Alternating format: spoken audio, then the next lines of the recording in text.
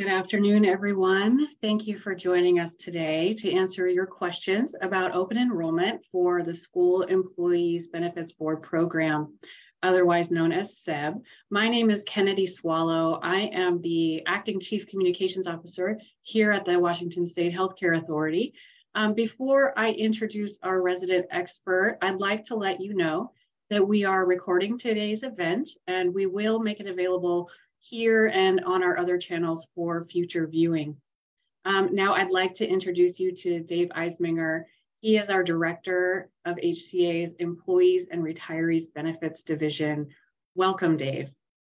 Hi, everyone. Dave Iseminger here again. I'm the director, as Kennedy said, of the Employee Retiree Benefits Division, which oversees the School Employee Benefits Board program and its sister program for those of you who have family uh, at state agencies or higher education, the Public Employee Benefits Board program. I also want to thank you for bearing with us um, as we got started a little late with some technical difficulties on our end. Um, everyone's time's precious, so we'll jump right into questions. I'm excited to hear to answer some commonly asked questions, which Kennedy is going to ask me as you input into the um, chat on Facebook your individual questions, and then we'll quickly begin transitioning to those questions. Um, but we'll get started with some things that uh, Kennedy has prepared to uh, convey some information as you are getting ready to make um, your final decisions for your 2023 plan year coverage. Wonderful. Thank you so much, Dave. Um, so yeah, let's get started with a pretty general question. What is open enrollment? Well, open enrollment is the time of year that um, our, most of our country is based on employer or significant part of our insurance coverage in our country is rooted in your employment. Um, and open enrollment is the time of year when you are able to make changes, a variety of different changes that we'll go through in a moment, um, to your account um, that will affect what your plan coverage is for um, the upcoming plan year. Um, not all employers run insurance programs on a calendar year basis like we do in the SEBB program. And in fact, many of you school employees prior to the SEBB program in 2020 experienced plan years that did not align with the calendar year. But here in the SEBB program, your coverage is January through December, and the changes that you make over the next couple of weeks will go into effect this January 1st. You were able to start making those plan changes this past Monday on Halloween. That was the first day of open enrollment for us. Um, and you have to make any changes by um, the end of the day, 11.59 p.m. on Monday, November 21st. So that Monday before Thanksgiving. Um, so that period from two days ago through November 21st is when you're able to make plan changes that affect January 2023 coverage for you and anyone that you're covering on your account. Great, thank you so much, Dave. So where can people go to find resources about open enrollment, things like monthly premiums or benefit comparisons? Yeah, our communications team and program team work really hard on making some nice comparisons for you. We know a lot of people like to see side-by-side -side benefit comparisons and just confirm their understanding of the premiums. So we have a website that's dedicated just for the SEBB program for open enrollment. It's HCA, the Healthcare Authority, .wa hca.gov, so hca.wa.gov, backslash SEBB hyphen OE.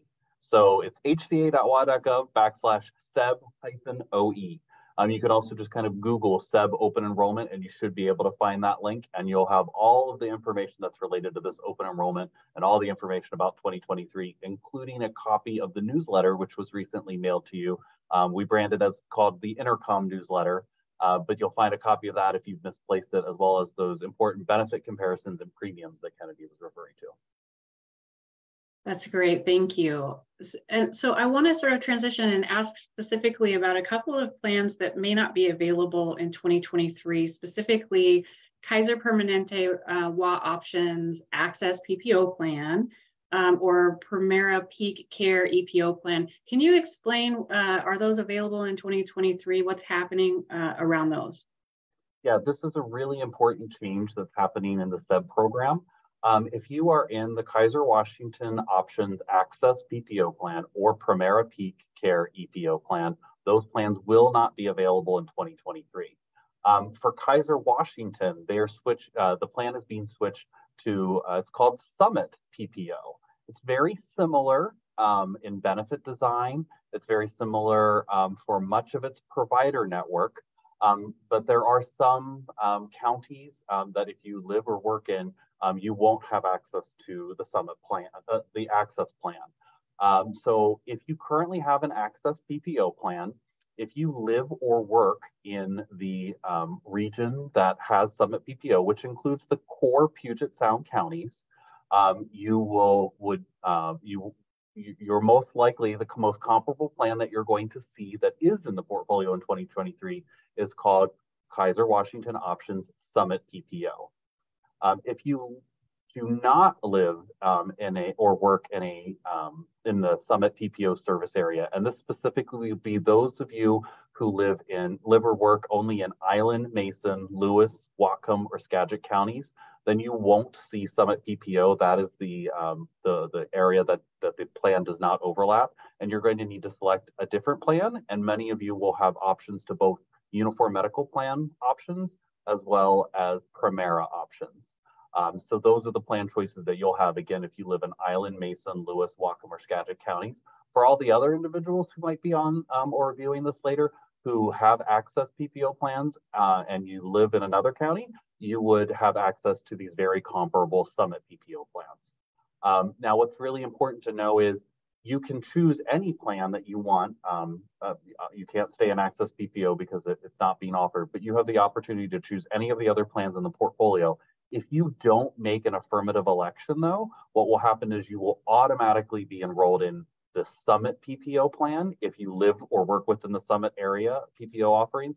If you live in those counties, Island, Mason, Lewis, Whatcom, or Skagit that I mentioned, you would be automatically enrolled in UMP Achieve 1 as your plan. So you will be put into coverage and you'll be put into the most comparable plan possible if you live in the Summit service area. And if you don't live in the Summit service areas, then you would be put into UMP Achieve 1. And just for final clarity, I know it's really complex. There are three different versions of Access PPO. We call them Access PPO 1, Access PPO 2, Access PPO 3. Summit plans similarly have a 1, 2, 3 designation. If you're in an Access 1 plan, you would be automatically enrolled in Summit 1 unless you pick something else during open enrollment. If you are in an Access 2 plan, you'll be in Summit 2. And if you're in Access 3, Summit 3. Um, so they are designed to be as similar as possible. And the good news is the premium is lower for all of the options that you would be automatically enrolled in. Um, same goes for you, who, for all of you who live in those counties that are not going to be able to access uh, a, KP Washington PPO plan. The options that are available to you are also lower premiums. Um, so hopefully this, this disruption will be fairly minimal for folks. Let me switch real quick to Premera. The Premera service area for their new HMO product is identical to the Peak Care EPO model. So any of you um, would automatically be enrolled in the Premera HMO product unless you pick a new um, plan differently. And the premiums, again, are lower for this HMO product compared to EPO. They are very similar um, in benefit design. Um, and, and, and so that's why we're, we're moving you to these plans uh, that are most similar in the portfolio if you don't make another affirmative choice. Thank you, Dave. That's very helpful. Um, so I, I'm excited this year that we are able to do some in-person benefits fairs. I understand that there are some going on in, uh, in the near future, as well as virtual benefits fairs. Can you talk a little bit about those? Yeah, um, this is only the second time for the SEBB program that we've been able to have in-person benefit fairs. We had them just before the pandemic as the we were getting into the inaugural open enrollment um, back in 2019 for the for the benefits that went live in 2020 and this year we are finally able to uh, get back out there and have some in-person um, interaction on benefit fairs. This week literally this week right now in fact um, uh, in eastern washington we're doing benefit fairs across four different cities in eastern washington. And then next week we have four in-person benefit fairs at different points up and down the, the i-5 corridor on western washington um, the, the ones that are upcoming um, uh, later this week are in Wenatchee and, and Yakima, and then next week, Vancouver, Olympia, Bellingham, and Bellevue. We needed to do um, a, a, little, we're, we're, only, we're doing eight benefit fairs in person this year. Um, the last time we did benefit fairs for the SEBB program, we had 20 in different cities around the state we are trying to balance um, kind of unknown circumstances um, and the venues as we were trying to reserve them for this fall. I'm hoping that in the future we may have more than eight, less than 20, but more than eight as we reach a new steady state. And we will kind of move them around in the region so that it's not always the same exact places. But um, if you go to that open enrollment benefit page that I described earlier, hca.wa.gov backslash sebb dash OE, you'll see those benefit fairs and be able to um, find um, the ones that are closest to you. But don't worry, we've had a lot of success uh, with the um, virtual benefits fair. It's online. It's also accessible via that open enrollment page that I referred to. It has uh, uh, information prepared by each of the carriers as well as the healthcare authority. It's available 24-7, day or night, and has been for several days now, and will be throughout um, open enrollment. Um, there are videos that can and webinars comparisons, the provider search engines, um, contact information for the plans if you have other questions, and it's all right at your fingertips in what we call the virtual benefits fair. If you are either unable to attend in person in one of the areas, or you're just not able to make it um, to, to the, the city that's closest to you for that in-person fair. We've had a lot of success and got a lot of good response from that virtual benefits fair during the pandemic, and we intend to keep that as a staple in the program as a resource throughout open enrollment in the future. That's great. And we do have a question. Uh, where are those Eastern Washington fairs? Uh, and is it is it too late to attend those? Um, there's no requirement to um, sign up to attend, so you can you can show up um, um uh, and, and just attend. I'm not going to go over today's because it's unlikely any of you are going to hop off the phone, hop and ride, and drive, get in a car, and get to a benefits fair in the next kind of 40 minutes. Um, but tomorrow is in Yakima, and on Wednesday, or, and on the fourth uh, Friday is in Wenatchee. Um, those are the Eastern Washington um, benefits fairs. Um, and the specific locations and buildings, um, uh, they're usually either in community facilities or a, com a nearby community college. Those are typically the venues that we use. That information is on the open enrollment website. Um, I do want to highlight if you have had COVID-19 symptoms, or importantly, if you've tested positive in the last five days, we hope that you will um, choose to attend the virtual benefits fair and get your information that way, um, just to keep as many people um, as safe as possible. What can people expect at these benefits fairs, uh, especially the in-person ones? Um, at the in-person benefit fairs, we have um, uh, tables, or, or each, of each of our carriers um, has a designated area um, and they staff those. So there'll be um, uh, representatives from Premera, from KP Washington, um, from the Uniform Medical Plan. We also have um, kind of tables set up for different parts of our programs. We have a, it's called the Centers of Excellence program, which is related to um, knee replace, hip and knee replacements, as well as spinal fusion. Um, if you are knowing that you're going to be needing those services, you can find out how you will be able to get um, uh, a high quality outcome with um, little to no cost to you for those specific services if you um, and so you can learn more about that there. But we have uh, we also have staff from the healthcare authority from my team here in the uh, employee retiree benefits division who are there to help answer questions about eligibility um, general information about the program um, and information about the enrollment process which is through SEBB My account, that same platform that has existed for the past couple of years, that online enrollment system, it's the same process um, that you would log in and be able to make those online elections. You can also, um, if you're ever having trouble with your online elections, you can turn to your own benefits administrators within your school district, um, and they can also help you find um, um, help you with accessing uh, and, and making uh, so you can make those changes online. So if you're someone who waived medical coverage last year but now want to enroll, is that allowed?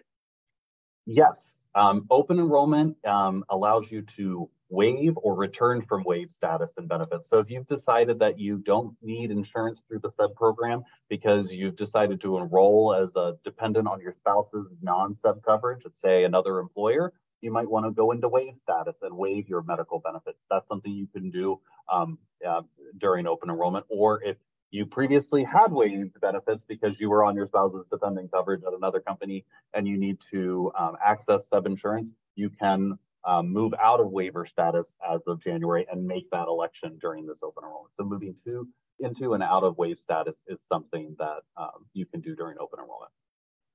Got it. Okay. And and just to build on that a little bit, what other changes can you make during open enrollment? Uh, you can add or remove dependents. If you are adding a dependent, you're going to have to submit documents that prove that they are a dependent of you. And, and you can do all of this in SEBB My account. You can upload documents that will be reviewed to make sure that they are an eligible qualifying dependent. Um, there's a drop-down list of a variety of different documentation that you could provide to fulfill that requirement. Um, removing a dependent's easier. You just click you want to drop them and then you drop them, but to add them, you have to prove that they are actually dependent. You can make plan changes. You can switch from one carrier to another. Within a carrier, you could switch from you know plan number one to plan number three. Uh, you also, um, for those of you who are covering a spouse, um, you may need to reattest to the spousal or state registered domestic premium surcharge. I will highlight here that you should have received a letter to indicate that you need to reattest. Everyone doesn't need to reattest. Um, it's a complicated formula, but we try to minimize the number of people who need to affirmatively reattest each year. There's somewhere around one to 2,000 individuals in the program that needs to.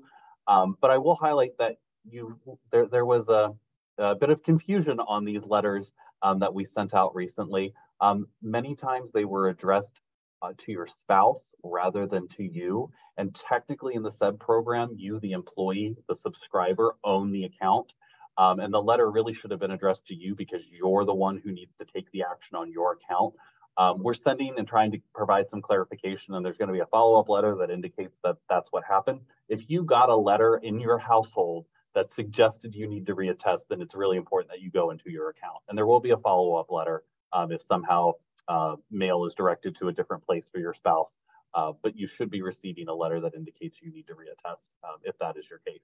You also can use um, during open enrollment, you, you need to affirmatively enroll in um, flexible spending arrangements or dependent care assistance program. Um, those are tax preferred accounts to reimburse you for medical expenses or, or qualifying dependent care coverage. That's something you have to affirmatively enroll in year after year after year. So if you're used to having an FSA or a DCAP, that's what we, the acronym soup is for those, um, then you'll need to affirmatively enroll in them year after year after year. And we've already talked about the ability to waive or unwaive coverage. Wonderful, thank you. We, we have a question coming through. Um, I'm having trouble finding how to re-enroll an employee paid LTD insurance for 2023. Is that mm-hmm. something we can help with? Yeah, um, in SEBB My Account, there is the information to be able to um, access LTD coverage. The easiest changes that you can make on LTD are reducing your coverage from 60% of your of your income to 50% of your income or completely opting out of LTD um, uh, additional LTD coverage. But if you want to move up from 50% to 60% or enroll in L additional LTD coverage for the first time, you actually generally will have to go through underwriting um, with our carrier, and the carrier's name is the standard. And so there should be information. Um, uh, uh, I would I would highlight that. Um, I think we're going to put in the chat maybe a link about LTD insurance that will additionally help people find access to it. But I did want to highlight that if you're buying up or getting into coverage for the first time, you do need to generally go through underwriting with the carrier. Um, but if you just want to drop or reduce that coverage, that's very simple to do within in SEBB My Account. Great, thank you. Um, another question, this broadcast doesn't seem to be for retirees. Is that true? Uh, that is generally true. Today's um, Facebook Live event is for the SEBB program, School Employee Benefits Board program, and that program only covers active employees in the K-12 world. Uh, we actually have another uh, Facebook Live event for the PEBB program, the Public Employee Benefits Board program, which covers both state employees and all retirees um, and that I believe is tomorrow afternoon. So this this um, this Facebook Live event does not cover retiree topics tomorrow as well. Okay, thank you for that clarification. Um, so say you work in one county but live in another county, are you able to look and choose a plan from either county? How does that work? Yeah, so your ability, um, you, your options are really the greater of the two counties. Uh, the, uh, so in this scenario, you've described that you work in King County, but you live in Snohomish County. Um, I know for a fact, just off the top of my head with my memory, that there are there's at least one or two additional plan options that are available um, in King County that are not available in Snohomish County, and you would have access to those plans. Um, there is one kind of actually, I don't need to say the exception I was just thinking because I worked out in my head that it doesn't matter in that scenario. Um, but generally speaking, if you are looking, uh, you have access to the plans based on either where you work or you live, the greater of those options. That's great. Thank you so much. Um, so say you don't want to make any changes to your plan this year. Do you have to do anything to keep your benefits? Except for FSA and DCAP, which are those tax preferred benefits that require an affirmative enrollment year after year. If you want, if you're happy with how things are and where things are, you don't have to make any changes to maintain the status quo. I do just want to highlight that we have um, about you know 40,000 people who are in KP Washington option uh, access plans, and since those plans won't exist, um, we're going to transition people to the most uh, comparable plan in the portfolio. If they don't make a change, most people will not see a substantial difference. Um, uh, uh, but if you are in a KP Washington Access PPO plan, you might want to make um, you, you won't be dropped from coverage out of the program. You'll put be put into the most comparable plan. You're going to want to engage uh, probably a little more. But if you are in any of the other plans, of the Uniform Medical Plan, um, the Premera plans that are not Peak Care EPO, or um, for example, the Kaiser Washington uh, HMO plans or the Kaiser Permanente Northwest plans down in Cowlitz and Clark County, if you're happy and you're all of those plans, and you don't really need to do anything to, to change or, or maintain your coverage in your medical plans, um, dental plans, or vision plans.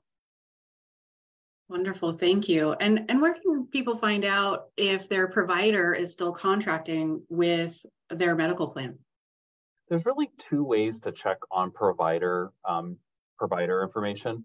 If you go to the virtual benefits fair or um, blog onto the, uh, all of our vendors and our medical plans have custom websites for the SEBB program there is an online provider directory.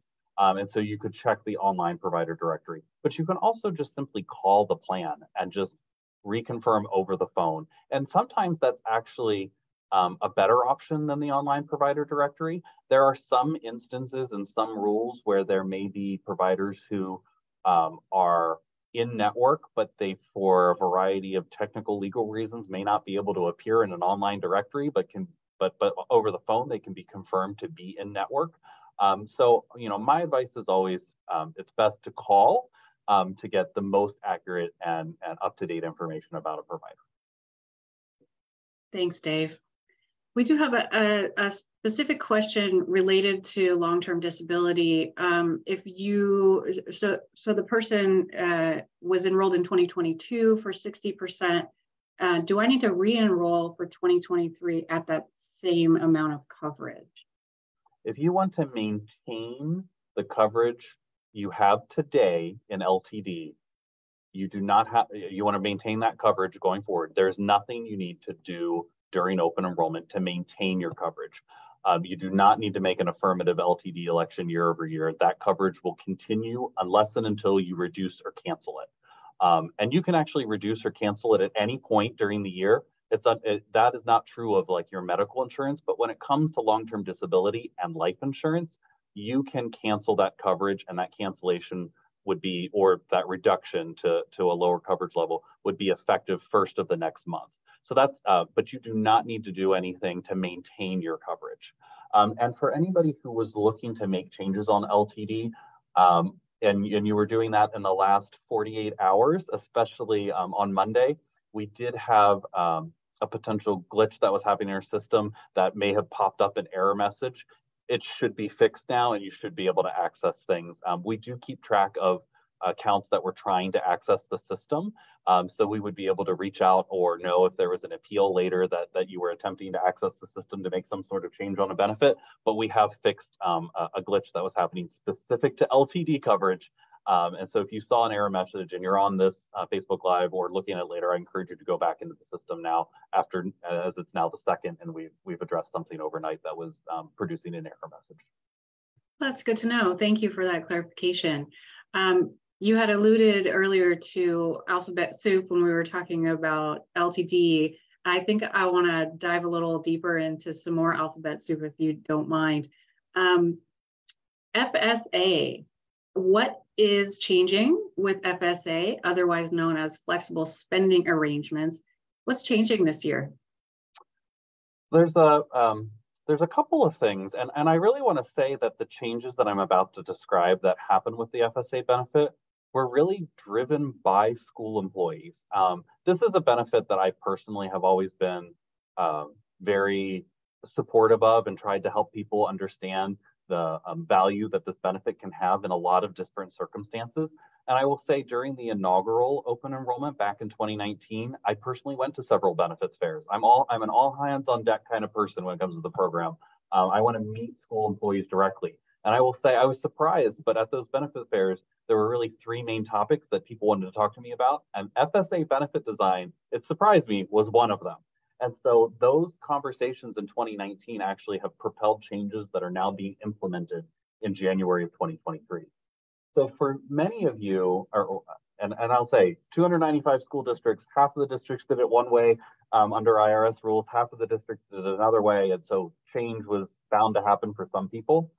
Over the past couple of years in the SEBB program, we had what was called the grace period rule that was being used um, um, under IRS rules, which allowed you an extra 10 weeks into the next plan year to access funds um, that were uh, uh, uh, uh contributed um, in the prior plan year. We're shifting away from what that grace period rule to the IRS allowed carryover rule. And the carryover rule um, allows an amount to be rolled over year over year over year rather than losing it. Um, it is under the grace period rule at the end of that 10 week grace period if you haven't sought reimbursement for it you lose the money that was um, that you contributed to that account and that's required by irs rules under the carryover rule you do not lose it if it's under a certain threshold and that threshold um, that's going to be applied this year it changes every year based on the irs consumer price indexes and inflation and all that but this year unused funds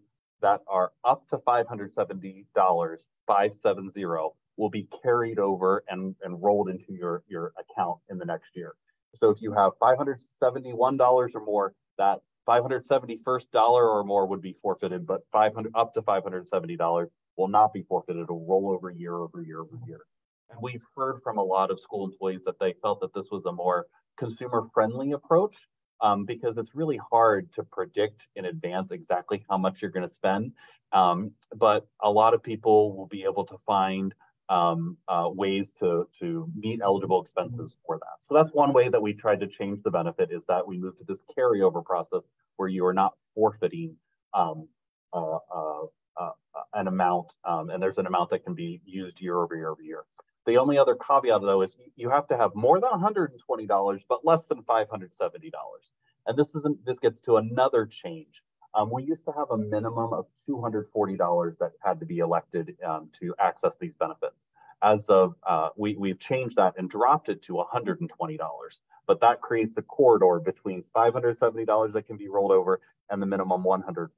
So if you have $119, it gets forfeited, but if you have 120 to $570, all of that rolls over. And if you have more than $570, only $570 will roll over into the next plan year.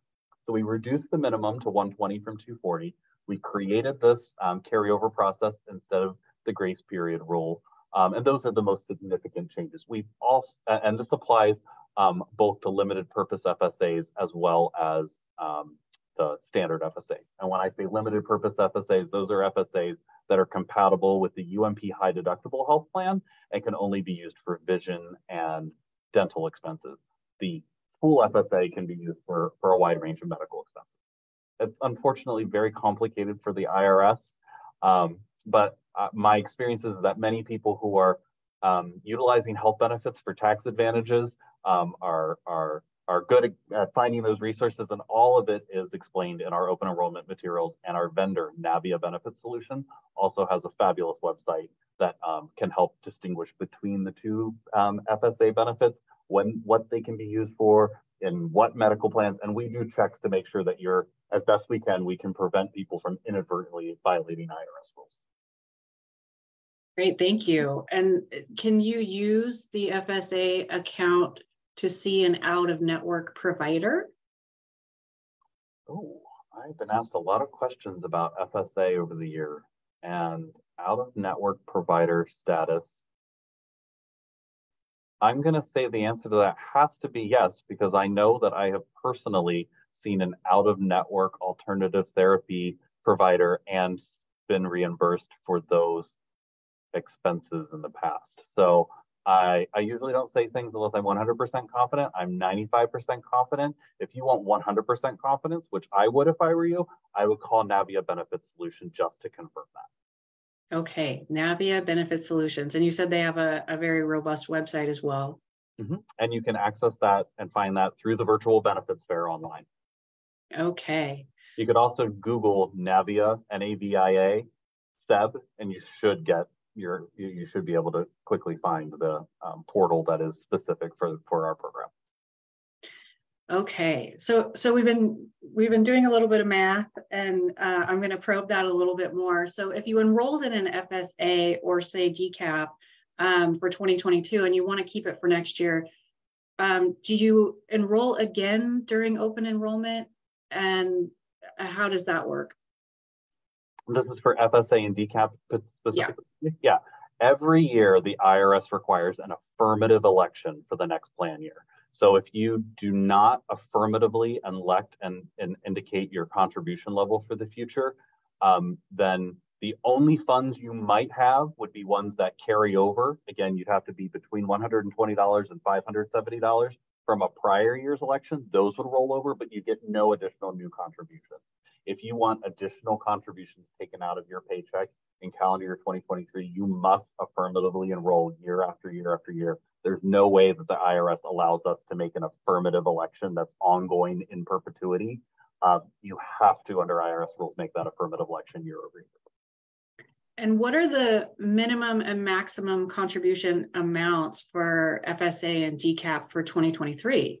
So the minimum um, is is rarely going to change. I can't say never because we just we, we dropped it from 240 to 120. The maximum is set by the IRS every year um, and can change again based on inflation and consumer price index and all those things.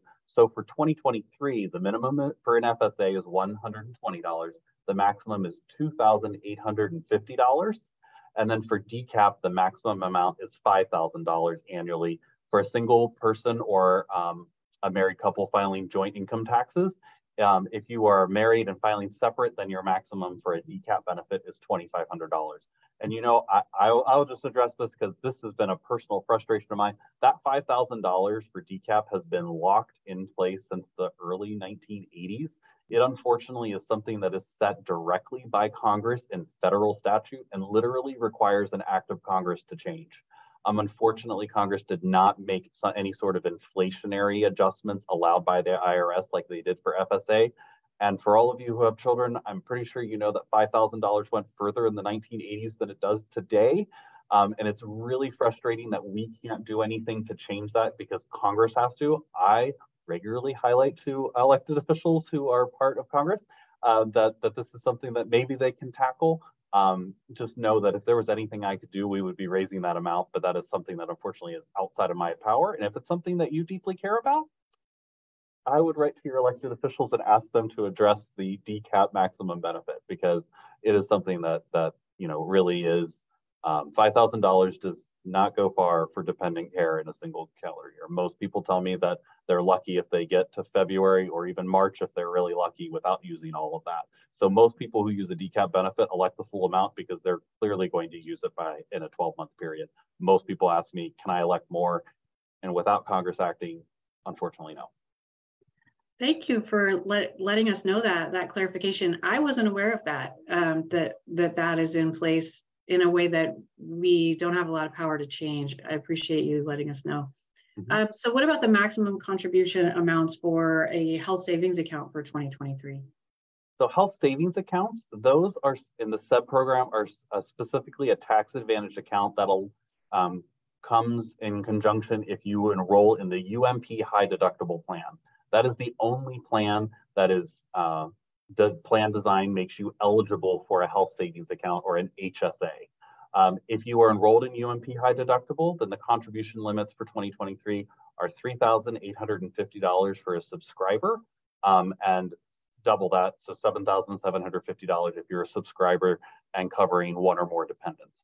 Um, if you are over age 55, there's an additional, you can do an additional $1,000 per year. Um, I do want to highlight also that with the UMP high deductible, that deductible is increasing to $1,500 for a single subscriber and $3,000 for that um, subscriber and additional dependent coverage. Um, and that is a requirement um, by the IRS. They set a minimum threshold for, for deductibles. Um, and we had to have the uh, deductible increase to be able to maintain um, enrollees' ability to make contributions that are legitimate under IRS rules for health savings accounts uh, for 2023. It's the first time that we've raised deductibles on that plan design in the PEBB or SEBB program since those plans were introduced in 2012. Um, but we unfortunately did have to to maintain IRS compliance for you. Okay. Um, I'm going to address a question we got, uh, and I, I'm curious, I might take it up a level too. So the question itself is, do you know if United Healthcare has same benefits for chiropractic, acupuncture, massage, physical therapy. So that's that's one. Dave, do you know that? And then two, um, sort of taking it up a level, what's the best way for people to find out how benefits may have changed year over year um, it, within uh, the plan? So I'm going to answer this one in an interesting way because United Healthcare doesn't have any plan offerings in the SEBB program. This is specific to PEBB retirees. So I'm going to answer the general question. Um, I will be able to answer that question more tomorrow in the PEBB Facebook Live event. Um, I practiced a lot of different knowledge, and it's really important for me to segment the differences between the programs for the two different uh, Facebook events. So I'm not prepared as well as I will be tomorrow to answer more specific questions to the retiree setting. Um, so I'm not going to be able to answer sitting here today in the SEBB forum about the specific benefit design of United Healthcare until I do some more of my homework tonight for tomorrow, um, just to brush up on my, my PEBB information. Um, but what I will say is the way that you can find this information is we um, at the program and in our communications team under Kennedy uh, spend a significant amount of time each year creating benefit comparison charts and we produce these and we publish them online and we try to direct people to them um, um, because we can't make them um, until September or October. We can't get them into physical mailings out to our, our members. We have to unfortunately rely on electronic means for this particular information, but it is a side-by-side comparison of a lot of key information. They can go on for three or four pages um, to make sure that we're covering different things like co-pays for inpatient um, uh, uh, visits, to hearing aid coverage, to vision uh, specific differences, to things that are, are uh, chiropractic, acupuncture, and massage benefits and treatment limitations, um, ER and urgent care uh, cost shares, the deductible level, the general co-insurance or co-payment levels. We, you know, all of this is in a side-by-side -side comparison um, one axis is the benefit, one axis is the other axis is the plan design, so that you can literally look side by side. And we try to make this because we know that it's something that's very important for people. And so that information you can find either directly on the open enrollment webpage um, that is on the Healthcare Authority's website or in the virtual benefits fair. Um, if you do attend an in-person benefit fair, I believe some of them also exist in print form for you to be able to pick up, but it is it should be widely um, and fairly easily accessible. I would even just literally Google School Employee Benefits Board Program, Healthcare Authority, benefits comparison, and within the top five five hits, it'll probably be a, a PDF um, that that is the uh, the link that you're looking for. Great, thank you. Wealth of knowledge. Um, we have a question about when is the Facebook Live for retirees? And you did mention retirees for tomorrow. Is that the one they should be tuning into? Yes, retirees should tune into the PEBB Facebook Live event that's tomorrow. And it is tomorrow at 4 p.m. That is correct. Okay, wonderful. Um, I'm not sure that we're going to be able to get to everyone's questions today. We're going to do our best. Um, there's a similar question around, do you know if Regence uh, has the same benefits? It sounds like the best way to find this out is to go to that benefits comparison online uh, and it would have all that information that they're seeking. Yes, and, and I will say it's um, it's challenge, each plan can have slightly different, and so I'm just afraid to say a number that then um, is incorrect. So I really want people to use those benefit comparison charts because sometimes the answer might be they're just different numbers. Sometimes the answer might be 20, sometimes the answer might be 24, sometimes the answer may be 30. It really can vary a little bit by plan. And so that's why those benefit comparison charts are so important. Yeah, that makes sense. So as we wind down, we just have a few more minutes left. I'm curious, Dave, when open enrollment time comes around, what are the what are the sort of main things that you want to get across to folks as they're thinking about this time and going into their benefits and uh, perhaps changing their benefits? What are what are some sort of um, what's food for thought for for folks? I, th I think it's really important to know that all of the plans that exist in the portfolio are are are helpful for for someone uh, everyone's circumstances are unique and the plan that works for you may not work for your neighbor your coworker um, everyone's circumstances are different and so all the plans uh, will make sense to somebody in some in, in some circumstances it's uh, if you are um, there is really is no wrong answer, um, so to speak. It's it's important for you to really, like I said, I would dive into those benefit um, comparison charts uh, and and really try to make sure that you understand what the differences are between those specific plans. Um, for for the most part, uh, we have really high quality benefits that are available for a wide range of circumstances across the state, rural and urban areas. Um, the geography and distribution of school employees is very great in our state, and we've tried really hard to make sure that there are, are robust options that also um, are, are affordable for both families and single subscribers. Um, that was really important for the launch of the SEBB program.